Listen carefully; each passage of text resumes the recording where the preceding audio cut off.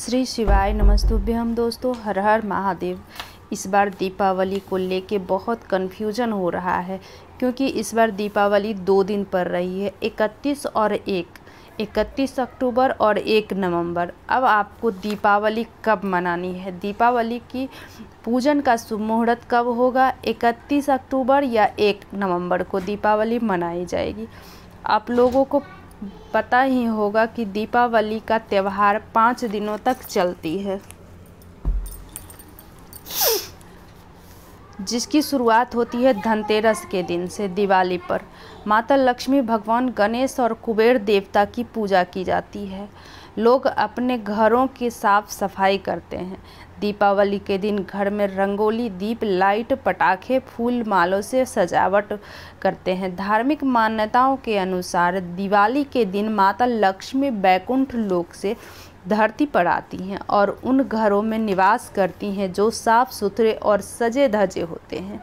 इस बार साल 2024 में दीपावली को लेकर असमंजस है। दिवाली हिंदू धर्म के प्रमुख त्योहारों में से एक है, जो पूरे देश में बहुत ही हर्षोल्लास उसके साथ मनाई जाती है। रोशनी के इस त्यौहार का इंतज़ार हर कोई बेसब्री से करता है। हर साल कार्तिक माह के अमावस्या तिथि में दीपावली का त्यौहार मनाया जाता है।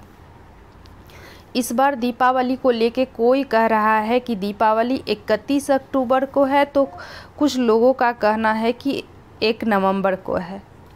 तो चलिए जानते हैं कि इस बार दीपावली की सही तारीख और लक्ष्मी पूजन का शुभ मुहूर्त क्या है। इसके साथ ही इस दिन लगाए जाने वाले कुछ खास भोग आप लोगों को शायद पता ही होगा कि दीपावली हर साल अमावस्या के दिन ही मनाई जाती है। शास्त्रों के अनुसार 31 अक्टूबर यानी कि दिन गुरुवार को अमावस्या तिथि दिन में दो बजकर चालीस मिनट तक है। एक चालीस मिनट से इकतीस अक्टूबर को मनाई जाएगी दीपावली। त्यौहार पर रात्रि में अमावस्या तिथि होनी चाहिए, जो कि एक नवंबर 2024 को शाम के समय नहीं है।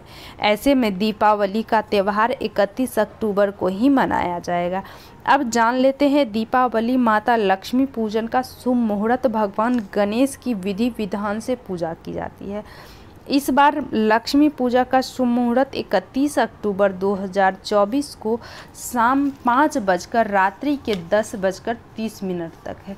भगवान गणेश माता लक्ष्मी को लगाए खास भोग। माता लक्ष्मी और भगवान गणेश को भोग में खीर, बूंदी के लड्डू, सिंघाड़ा, अनार, नारियल, पान का पत्ता, हलवा मखाने, सफ़ेद रंग की मिठाई, चूड़ा, इलायची, दाने का भोग लगाया जाता है।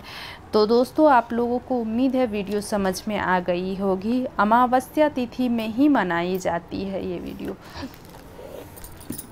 वीडियो कैसी लगी कमेंट बॉक्स के ज़रिए ज़रूर बताइएगा। श्री शिवाय नमस्तुभ्यम। हर हर महादेव मेरे चैनल पर नए हो तो सब्सक्राइब कर लो, बेल बटन प्रेस करना ना भूलना।